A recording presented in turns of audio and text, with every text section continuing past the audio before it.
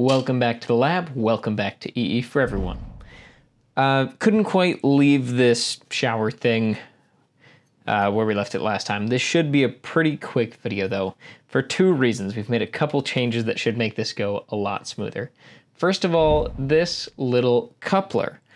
It has mach- uh, not machine threads. Oh my goodness, it has shower threads. Uh, at least the threads required for the plumbing in this part of the world. I modeled the threads based on this adapter that we intended to use originally, but this should work a lot better. Instead of requiring a T and a lot of other fittings, this basically goes right in line. So it'll thread onto one end of the standard pipe plumbing. You thread your other normal outlet on the other side. What goes in the middle? Well, of course, there is a hole that is a perfect press fit for the temperature sensor. So now we can put that in line the water stream and it will not be nearly as much of a mess. This should be perfect. Okay, what's the other part? Well, I noticed that we were having a, some trouble getting enough tension on this pulley. Um, and so what I did is I added this external free floating, like freely rotating assembly, which um, allows this whole geared assembly that's grabbing the knob to spin freely inside this larger frame, which will cause the timing belt to engage with more of the gear. But this should allow for a much greater rotational force to be achievable with a much smaller tension force. So this should be pretty much perfect for what we want to do. We've got a laptop to set up in the other room, so this should be awesome. Let's switch over to the bathroom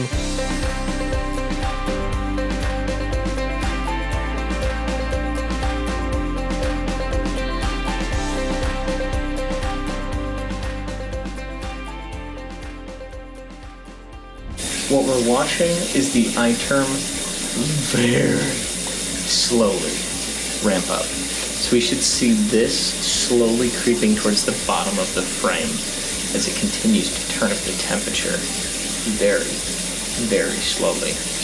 It has probably taken, I don't even know, minutes. And we're not even halfway to hot. I think I might have overcorrected for the instability we saw before. I wanted to slow down the loop, but not quite this much.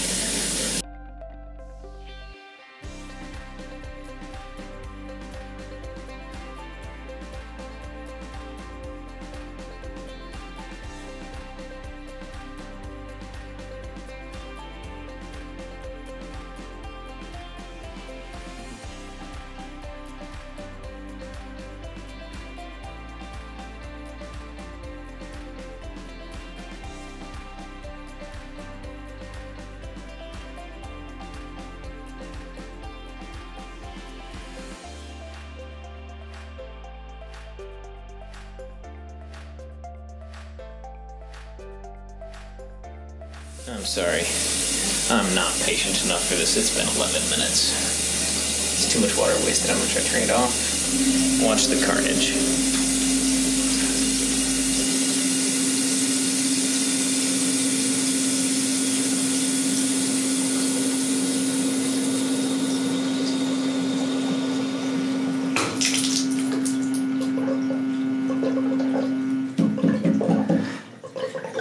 Very excellent. Did turn off. Okay, let's try that again. Program.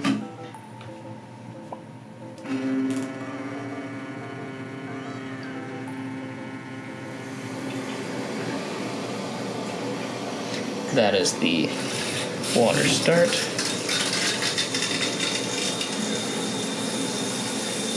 Okay, now we're making much bigger adjustments.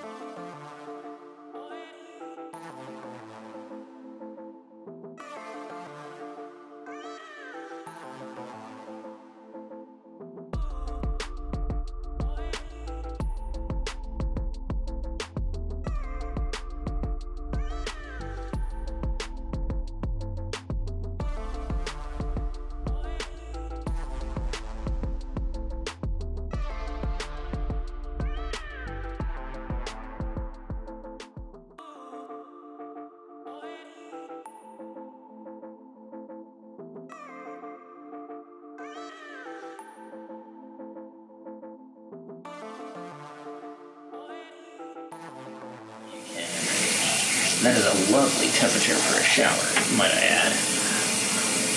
37. There we are, maintaining at 37. Oh my goodness, we're there. We're at 37. Oh my goodness. Did we really just overshoot and then nothing? Oh, yes. We found the set point. Perfect temperature shower.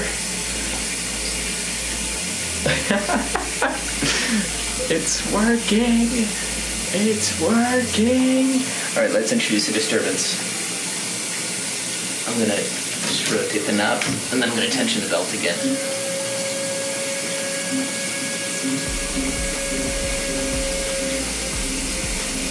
Okay, there's the disturbance.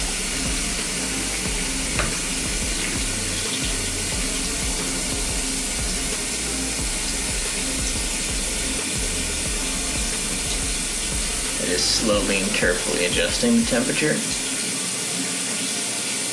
Okay.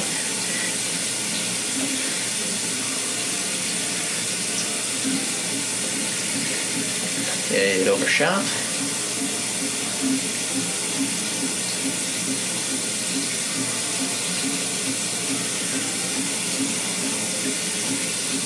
We're one degree under. Honestly, that feels pretty darn close. That's really close to what I would expect.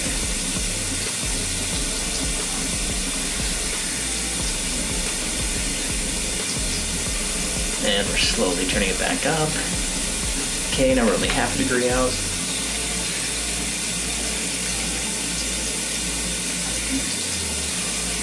Excellent. Back into regulation. Oh, that was fun. Watching a control system respond is very satisfying.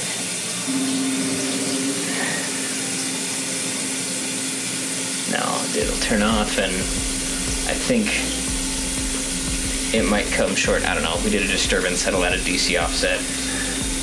I was lazy. I should have done the disturbance somewhere else, not right here. Yeah. Oh. That was really cool. There's only one more thing I need to do the hysteretic controller, and I will be satisfied.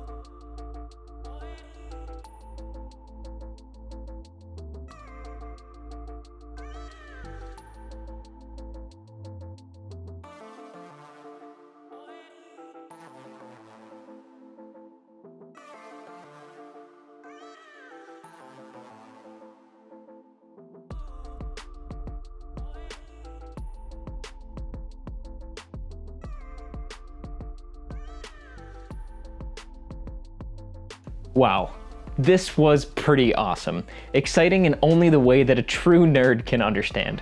We just talked about something for two minutes and then spent 10 minutes looking at graphs.